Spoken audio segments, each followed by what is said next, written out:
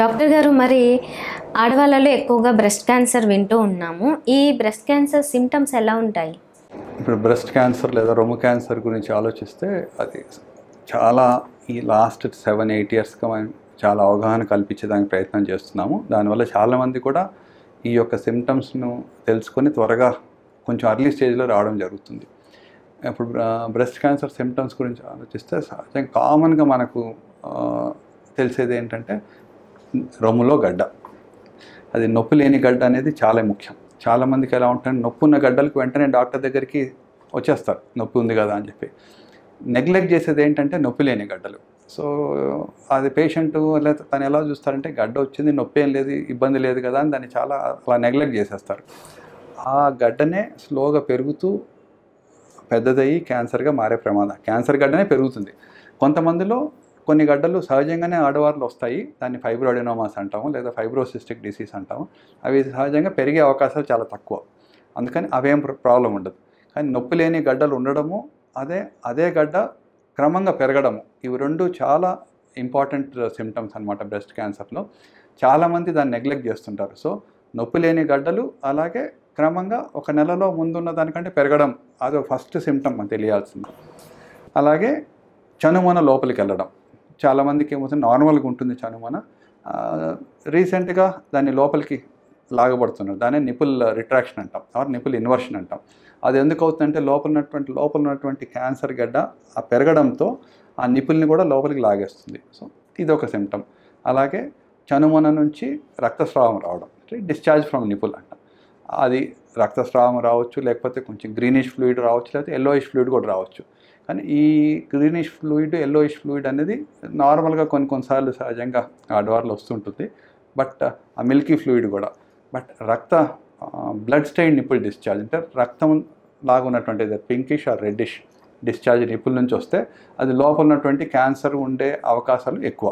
చాలాసార్లు blood discharge ఉన్నప్పుడు లోపల క్యాన్సర్ ఉండకపోవచ్చు కానీ pre invasive stage pre clinical stage చిన్న క్యాన్సర్ అప్పుడప్పుడే మొదలవుతుండే క్యాన్సర్ ద్వారా కూడా అలా వెలవడుతుంది అలాగే రొమ్ము ఆకృతిలో మార్పులు.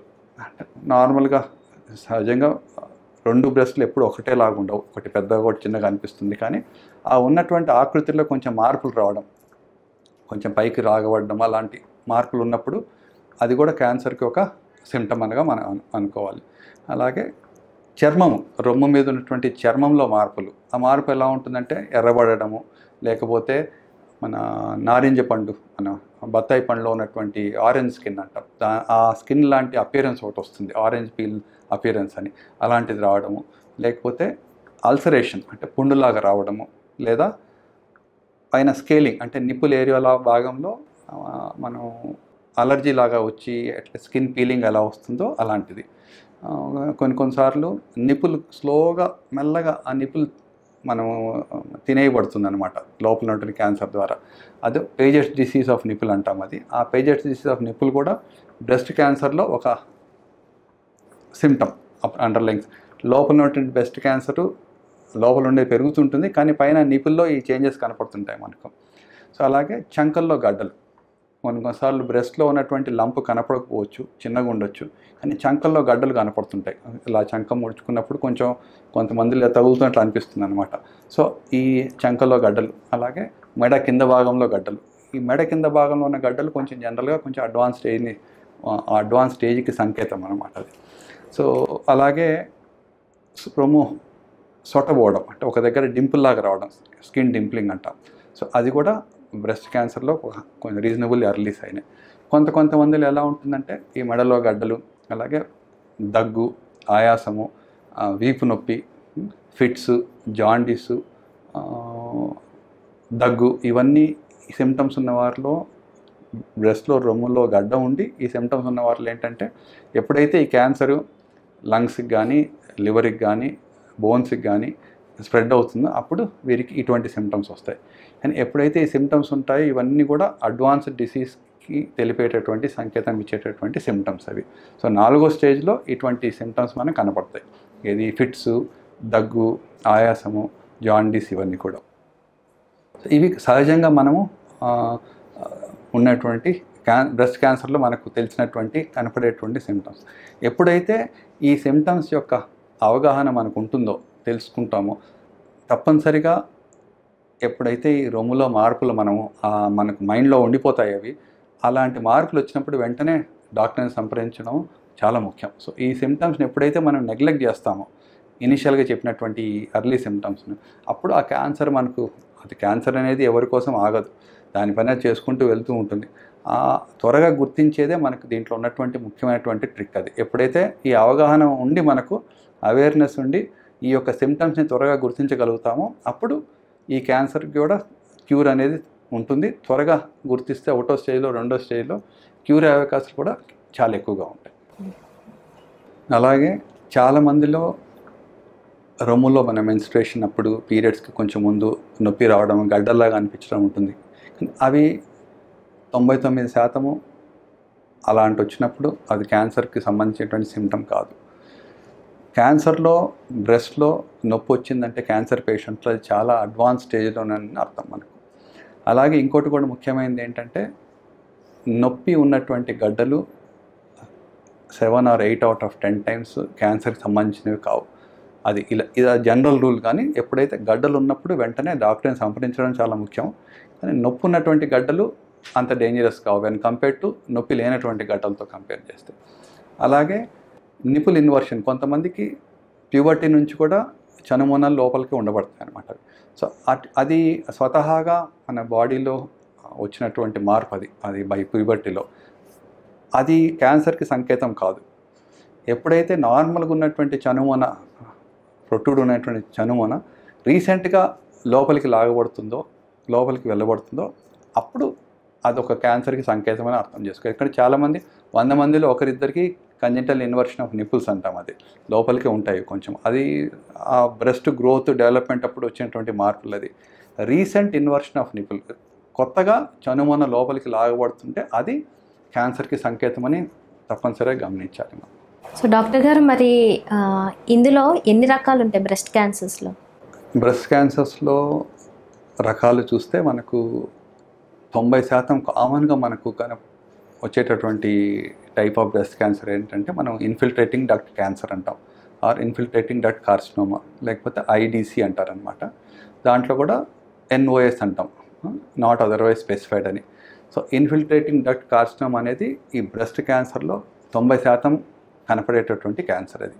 సో ఈ క్యాన్సర్లో కూడా డిఫరెంట్ డిఫరెంట్ రకాలు ఉంటాయి మనకు. ట్యూబులార్ క్యాన్సర్ అని మెడులరీ క్యాన్సర్ అని తర్వాత పాపులరీ క్యాన్సర్ అని చెప్పి అలా డిఫరెంట్ టైప్స్ ఆఫ్ క్యాన్సర్స్ ఉంటాయి. ఇన్ఫిల్టేటింగ్ డెట్ కార్సినోమాలో దీని తర్వాత మెడులరీ మన లాబిలార్ కార్సినోమా అంటాం మనం. కొన్ని కొంత కొంత పర్సంటేజ్ లాబులార్ కార్సినోమా ఈ లాబిలార్ కార్సినోమా బ్రెస్ట్లో పెక్యులారిటీ ఏంటంటే అది సహజంగా బయలేటర్లకు వచ్చే అవకాశాలు ఉంటాయి. అంటే ఒక రొమ్ములో వస్తే ఇంకొక రొమ్ములో కూడా ఒకటేసారి సైమల్టేనియస్గా రావచ్చు. లేకపోతే ఇది వచ్చిన కొన్ని సంవత్సరాలకి అటుపక్క కూడా రావచ్చు అనమాట సో లాబులార్ కార్సినోమా బ్రెస్ట్లో ఉన్నటువంటి ప్రత్యేకత అది.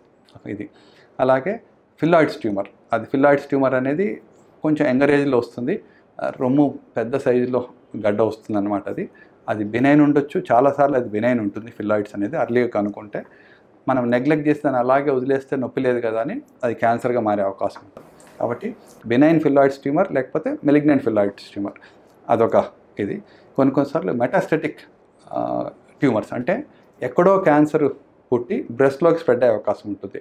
మెలనోమా అనేటటువంటి ఒక చర్మ క్యాన్సరు బ్రెస్ట్లోకి స్ప్రెడ్ అయ్యే అవకాశం ఉంటుంది. అలాగే కిడ్నీ క్యాన్సర్లు కొన్ని కిడ్నీ క్యాన్సర్స్ బ్రెస్ట్కి స్ప్రెడ్ అయ్యే అవకాశం ఉంటుంది. కొన్ని లంగ్ క్యాన్సర్స్ కూడా బ్రెస్ట్కి స్ప్రెడ్ కావచ్చు. అంటే బ్రెస్ట్లో స్వతహాగా అక్కడ మొదలైనటువంటి క్యాన్సర్ కాదు ఎక్కడో పుట్టి బ్రెస్ట్కి స్ప్రెడ్ అయ్యే అవకాశం. సో ఇలా కొన్ని డిఫరెంట్ టైప్స్ ఆఫ్ క్యాన్సర్ అలాగే సార్కోమా సార్కోమా అనేది కూడా ఒక స్మూత్ మజుల్ నుంచి వచ్చేటటువంటి క్యాన్సర్ అది.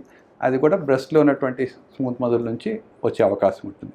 సో ఈ ఐదారు రకాల క్యాన్సర్లు ఉంటాయి. కానీ మనకు సహజంగా మనకు కనిపించే క్యాన్సర్ చూసే క్యాన్సర్ కామన్గా వచ్చి ఇన్ఫిల్ట్రేటింగ్ డాట్ కార్సినోమా దాని తర్వాత లాబులార్ కార్సినోమా కొన్ని కొన్నిసార్లు రేర్గా మనకు ఇన్ఫ్లమేటరీ బ్రెస్ట్ క్యాన్సర్ అంటాం. అంటే అది చాలా చాలా ఫాస్ట్గా స్ప్రెడ్ అయ్యేటటువంటి అంటే అలా మొదలయ్యి రోజు మనకు వారాల్లో కూడా ఆ మార్పుని గమనించవచ్చు. చాలా చాలా అగ్రెసివ్ క్యాన్సర్ అది. ఇన్ఫ్లమేటరీ బ్రెస్ట్ క్యాన్సర్ అంటాం అది.